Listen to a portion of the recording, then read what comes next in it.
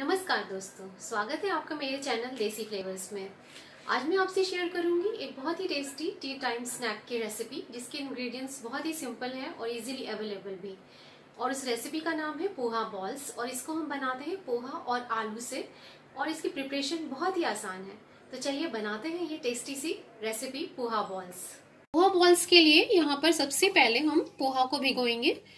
मैंने यहाँ पर एक कप पोहा लिया हुआ है, और इसको मैं पानी में भिगा दूँगी सफिशियंट वाटर में, करीब पाँच मिनट के लिए।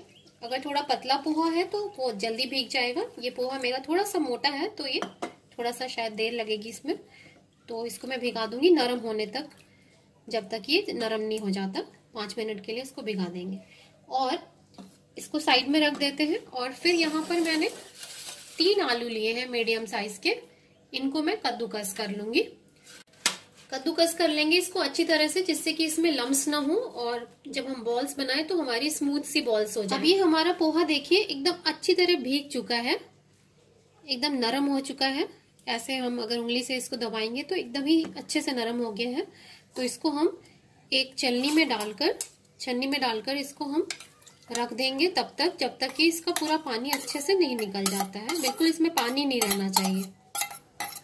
अब हम देख सकते हैं कि पोहे का पानी खूब अच्छी तरह निकल गया है। और फिर अब हम इसको एक बाउल में डालेंगे, बड़ी बाउल में। और इसको डालकर खूब अच्छे से हम इसको मैश कर देंगे। तो मैं हाथ से ही मैश करूँगी अच्छी तरह, ताकि ये एकदम अच्छे से पिस जाए। अभी पोहा भी अच्छे से हमारा मैश हो गया है। और फिर अब इसमें हम डालेंगे आलू, जो मैंने पहले से ही कद्दूकस करके रखे हुए वो भी अच्छी तरह से मैश्ड है। अब इसमें सारे दूसरे इंग्रेडिएंट्स डालेंगे। एक छोटा टुकड़ा अदरक और हरी मिर्च का मैंने पेस्ट बना लिया है। वो मैं इसमें डालूँगी। हरा धनिया। वन फोर टीस्पून काली मिर्च पाउडर। एक चम्मच चाट मसाला, एक छोटा चम्मच। आधा छोटा चम्मच आमचूर पाउडर। थोड़ी सी लाल मिर्च भी डाल देते हैं, करीब वन फोर टीस्पून जैसा कि आप खाना चाहें मिर्ची। और यहाँ पर नटी फ्लेवर देने के लिए मैं यहाँ पर टू टीस्पून तिल डाल रही हूँ वाइट तिल। इसका भी इसमें बड़ा अच्छा सा फ्लेवर आता है। और दो बड़े चम्मच, यानी टू टेबल स्पून बेसन। बेसन डालने के बाद डालेंगे हम मूंगफली।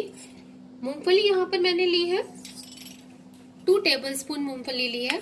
तो टू टेबल स्पून मूंगफली को मैं दरदरा मैंने पीस लिया है मिक्सी में। बहुत बारीक नहीं पीसना है। तो वो भी मैं इसमें डालूँगी। इससे भी बहुत अच्छा सा फ्लेवर आता है। और सबसे ज़रूरी चीज़ नमक। ये सब डालकर, सारे इंग्रेडिएंट्स डालकर अच्छे से इसको हम मिक्स कर लेंगे। अभी हमारा मिक्सचर एकदम अच्छी तरह से तैयार हो गया है। अब हम इसके बॉल्स बना लेंगे इस तरह से। एक बॉल हमने बना लिया है। इसी तरह से हम सारे बॉल्स बना लेंगे। हमारे सारे इक्वल साइज़ के बॉल्स तैयार हो गए हैं। और ये डीप फ्राई करने के लिए अब तैयार है। तो यहाँ पर मैंने एक बड़ी कढ़ाई में तेल चढ़ा के रखा है और तेल हमारा गर्म हो चुका है। तेल एकदम अच्छा गर्म होना चाहिए।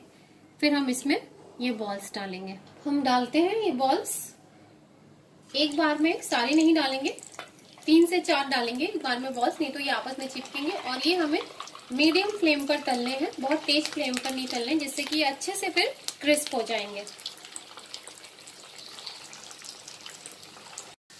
अब हम इसको थोड़ी देर बाद पलटते हैं। तुरंत हम इसको नहीं पलटेंगे। जब नीचे की, इसकी सतह क्रिस्प हो जाएगी, तभी इसको पलटेंगे।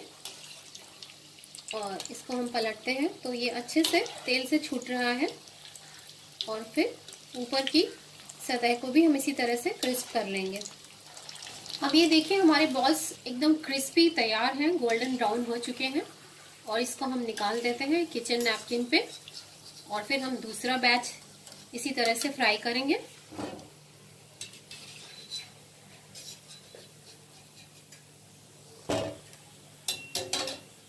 अब ये हमने अपना दूसरा बैच डाल दिया इसमें।